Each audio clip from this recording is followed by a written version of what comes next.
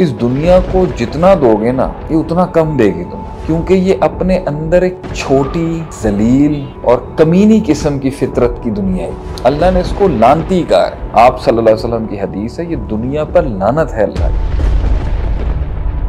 कि कोई शय अल्लाह को पसंद नहीं। दुनिया से मुराद सब कुछ है। माल, दौलत, लोग, पीपल, रिलेशनशिप रिसोर्सेज जंगल, आसमान, ज़मीन, ये सब आपके कंट्रोल में आ सकते ये दुनिया जो है ना इसको, अब ये मेरा इल्म फासिद था ना। मैंने दुनिया की जगह पे अल्लाह को रखा हुआ था और अल्लाह की जगह पे दुनिया को रखा हुआ था।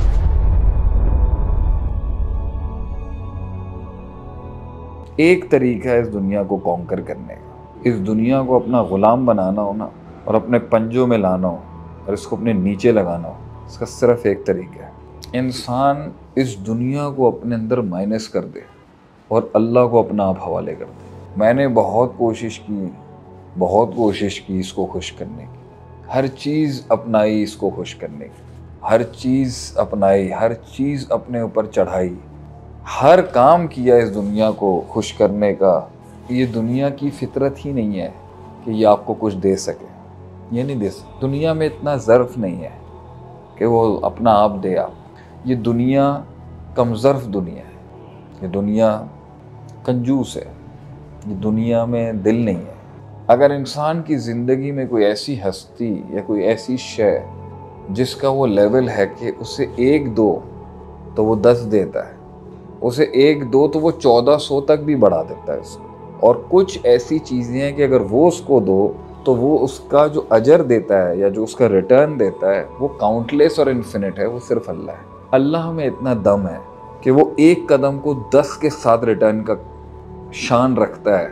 अल्लाह इनसिक्योर नहीं होता। अल्लाह चैलेंज नहीं होता। अल्लाह के आगे कोई भरमबाजी नहीं चल सकती। अल्लाह दबाया नहीं जा सकता। डोमिनेट नहीं किया जा सकता। जितना नाच कर ले आदमी। अल्लाह वो वाहिद हस्ती है, जिसको आप परफॉर्मेंस दिखाएँगे ना हसद नहीं करेगा वो। खुश होता है बल्कि। आपकी तरक्की से जलिस नहीं होगा। आप सीधा चल रहे होंगे, आपको मज़ीद निखारेगा वो।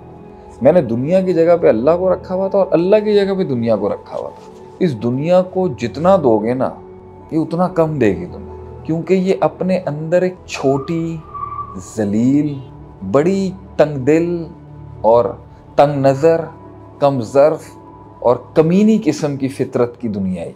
अल्लाह ने इसको लानती कहा है दुनिया मलून व मलून तो माफ़ी है आप सल्लल्लाहु अलैहि वसल्लम की हदीस है, ये दुनिया पर लानत है अल्लाह की। इसकी कोई शय अल्लाह को पसंद नहीं। अल्लाह को ये दुनिया अच्छी नहीं लगती।